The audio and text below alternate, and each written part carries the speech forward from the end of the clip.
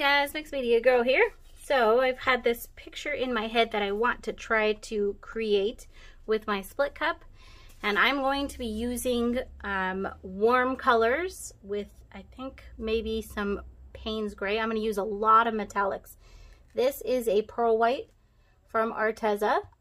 Everything is mixed with Floetrol and water. I am also going to be using some unicorn spit. Now the unicorn spit is just mixed with Floetrol. It's about 50-50. So 50% unicorn spit and 50% Floetrol.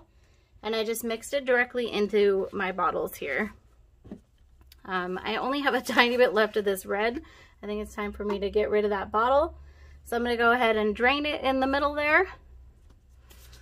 And then let's do these other fun. These are all, like I just took a bunch of the Arteza Metallics and mixed them all up. So that's kind of like a peach color. This is a strawberry, um, sorry, a rose gold. And then I do have violet vulture unicorn spit. Put that in the middle there. And I'm going to put that uh, Payne's Gray in the middle there as well.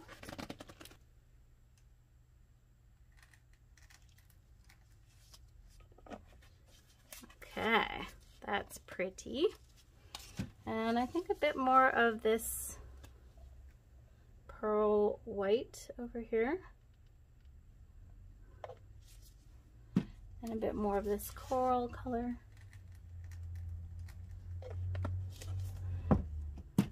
And then dash more of this purple. And that should be more than enough. I'm gonna get all my bottles out of the way real quick. There's actually one more color I decided to throw a little bit of in the middle, and that's this, uh, it's a copper, I think, from Arteza. I'll try to go through and list all the colors. This is a bunch of just metallic colors. Okay, so I'm going to do this as, not as a tree ring, but just a straight pour here. And I will be traveling kind of going a bit for a Grand Canyon look, I guess we can say.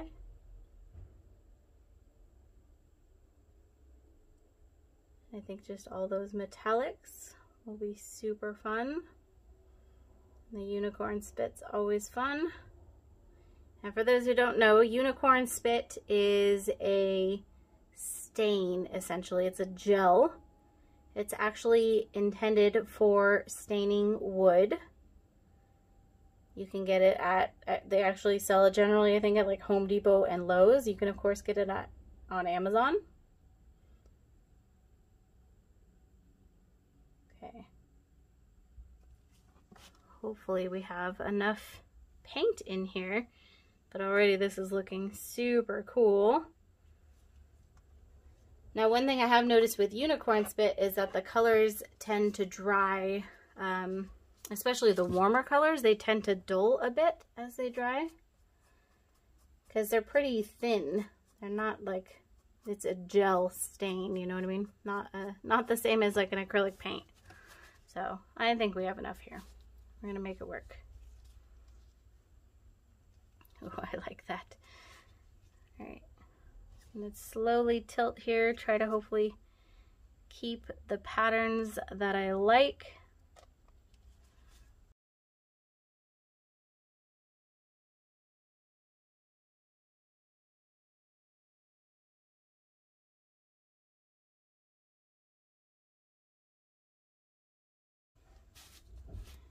All right, so 100% not the look I was going for. I think I should have used more on the yellows and browns side. I went, I guess, a little, I didn't realize I put so much of that purple in there and it really kind of took over. That is okay though. Still a beautiful picture nevertheless. So let's go ahead. We'll let this sit here for a little while and then um, see what develops. We actually have some fun cells developing over here. And then I'll bring you guys in for a close-up. All right, so starting in the lower right hand corner here, a few of those fun cells. I'm really happy with the colors in this one. So that gold, as it dries, because it was one of the unicorn spit colors, will mute a little bit. I think this is just so pretty. Not even remotely what I was going for. Those dark colors really took over, but I'm super in love with this.